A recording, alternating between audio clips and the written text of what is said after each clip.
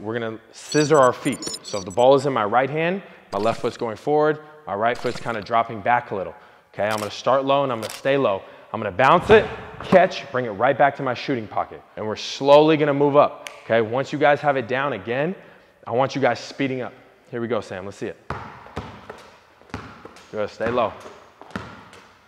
Good job, good, quicker, quicker. Nice, let's go, speed it up, speed up, speed up. Boom, good, we're gonna make mistakes.